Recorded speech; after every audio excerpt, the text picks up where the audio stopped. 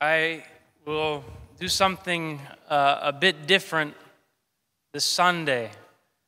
I will preface my sermon with a warning label. Today I will speak about prayer. And I have a tendency to get a little bit on the theological side, floating up in the ether. Uh, but I want it to be something very practical, something that perhaps we will all benefit from. But why a warning? A warning because if you truly seek to undertake a life of prayer, it will be the most difficult thing that you ever do. Now, here I'm not speaking of the bouzouki cross we sometimes make before a meal or a few prayers we recite from a book in the mornings or evenings. And I, I'm not saying this to condemn that, but if we truly wish to pray, we will struggle. We will suffer we will recognize a sinfulness and darkness within us that we never even imagined was there. We will have our eyes opened and be awakened to the suffering of a world around us that was inconceivable to us before we began to pray. At the same time, if we truly pray, we will experience within it a joy that is insurpassable, a nearness to God, an experience of a brightness that will make the sun appear to us as a shadow. So pray only if you're truly willing to stand before the living God. So we'll begin with what is prayer?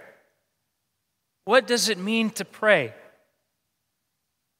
The simple answer, which is often the right answer, is it is communication and communion. It is our speaking to God, our calling upon Him. But it is also His speaking to us, speaking to us in His silence, speaking to us through the scriptures, speaking to us through the beauty of the world and the life he never ceases to give to us. Prayer is also a remembrance. Our Holy Father, St. Nicholas Kavasilas, tells us that we were given the ability to remember. The very purpose of our memory is that we might carry around with us at all times and in every place the name of God.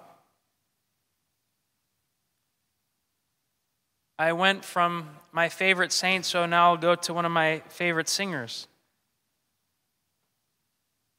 There's a song that some of you may have heard called The Nearness of You. This is a, a great song, but it's one that after I had begun to struggle to pray, I realized how true it was. That when it comes down to us, it's not all the things that God has given to us, but simply the nearness of Him. Saint Sophrony, one of our contemporary saints, has told us that truly praying is to live prayer. So now we've gone from what we will go to why. Why should we pray? This is perhaps the easiest of the questions we'll ask ourselves today because how can we not? Why pray? If God is at every moment, unceasingly, without end, giving to us, giving gifts, the gift of life, the gift of every breath, the gift of the loved one who's sitting beside you at this moment the gift of the hope that the loved one no longer sitting beside you is in his embrace. How can we not at every moment call upon God with gratitude? The gospel reading today tells us about four friends who have a friend who is paralyzed. And they try to bring him to Christ, but Christ is in a room that's overcrowded and they're unable to get to him. And so these friends that loved, what love they must have had for their paralyzed friend, they go up and they break a hole in the roof and they bring their paralyzed friend to the feet of Christ. When we pray for others, this is precisely what we're doing.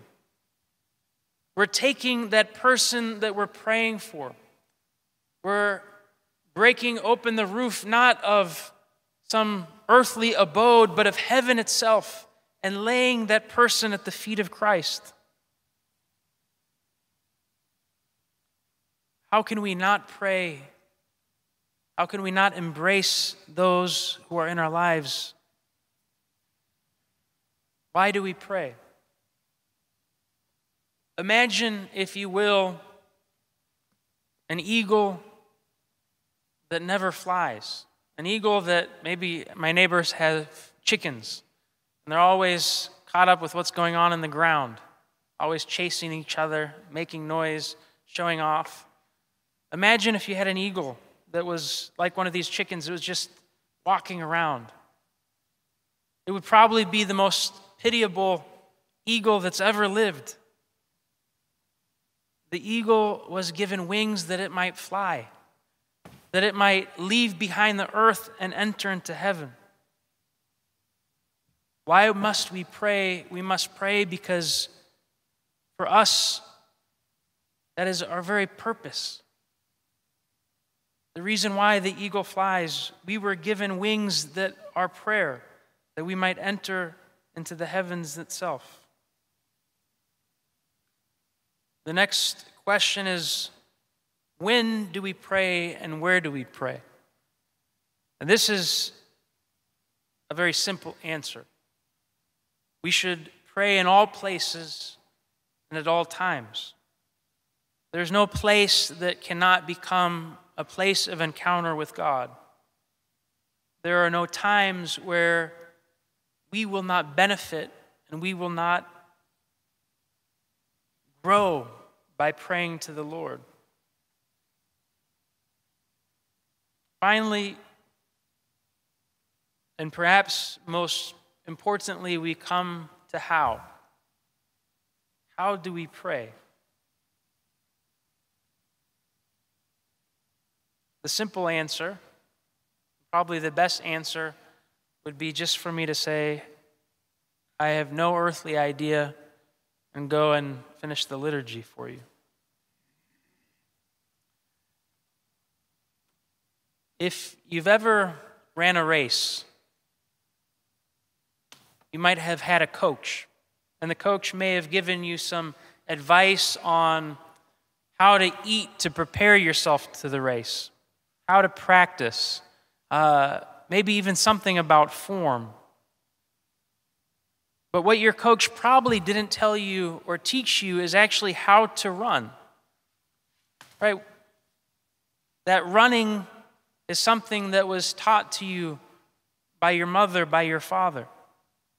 And so I will leave the actual how we pray to God, your Father, to teach you.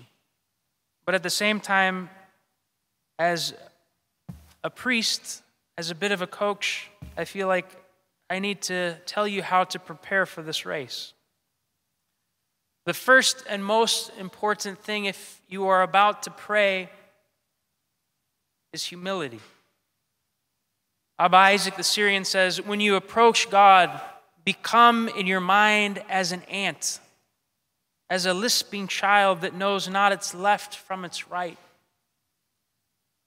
Call upon him with your heart. If we truly have humility, we will have gratitude because we will realize that all the gifts given to us we're not worthy of. We will be unable to judge our neighbor. Humility. St. Paisios tells us that if we wish to hear the voice of God, we must turn the dial of our spiritual radio to the station of humility, and then his voice will come to us clearly. Secondly, when we pray, we're speaking to a who. The prayer is not just some sort of recitation of a magical formula, but we're speaking to a someone. And that someone is the Father, the Son, and the Holy Spirit. It is in the mysteries that Christ is made present within us, the one to whom we speak when we pray. And so it's necessary for us to receive the mysteries. It's necessary for us to know about who it is we speak to when we pray. And so it's necessary for us to study the scriptures. How do we pray? The church has given us so many simple words. The Jesus prayer, Lord Jesus Christ, have mercy on me. Kyrie Isu Christe eleison me. We have the prayer of the publican, the prayer of the prodigal son. So many examples in scriptures of those who have prayed. The prayer of the good thief who opened paradise with his prayer. Remember me, Lord, when you come in your kingdom. And perhaps we, in our modern day, find ourselves too busy to even thank God with a simple prayer throughout our day. So, St. Nicholas Kavasilas tells us it is enough then to just throughout the day, in the time that it takes to put one foot in front of the other, remember that God exists and that He loves you. And so finally, if you wish to know what prayer is, if you truly desire to know why we pray and to how to pray, must simply pray. May Christ our God send upon each and every one of you the Holy Spirit to instruct you and guide you on this journey that will lead us to his Father. Amen.